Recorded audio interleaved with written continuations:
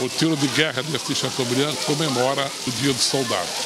Este ano antecipou um dia e nós vamos conversar com o Sargento Figueiredo, que é o comandante do TG 05015 de Assis Chateaubriand, fala para a gente como é que foi a solenidade de comemoração do Dia do Soldado este ano no TG em Assis Chateaubriand. Então hoje realizamos a formatura em comemoração ao Dia do Soldado. É, convidamos é, alguns alunos da escola para presenciarem a, a, nossa atividade.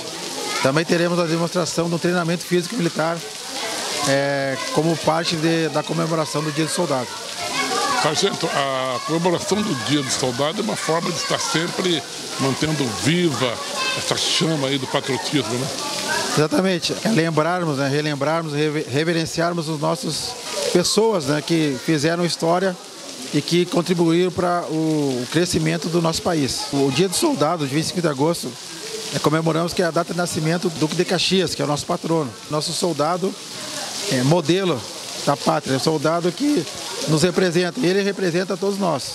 Fala um pouco para gente, ô sargento, como é que está o TG hoje? Felizmente, é, a instrução está correndo como foi planejado. Hoje nós temos 35, 35 atiradores matriculados. As instruções estão ocorrendo normalmente, sem, sem nenhum imprevisto. É, a nossa inspeção está marcada para outubro, que é a inspeção da 5 Região Militar, que concede em Curitiba. E, e, e, também estamos realizando os preparativos né, das instalações para receber essa, essa inspeção. As atividades aqui são de segunda a sábado, das 5 e meia da manhã às 7h30.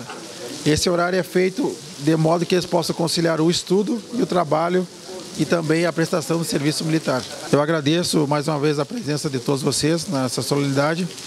Também quero agradecer a população de Assis Chateaubriand pelo, pelo carinho que, que tem pelo tiro de guerra, pelos atiradores.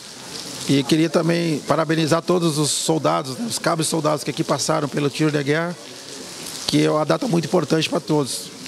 E queria dizer também que o tiro de guerra está sempre à disposição da comunidade, se quiser visitar.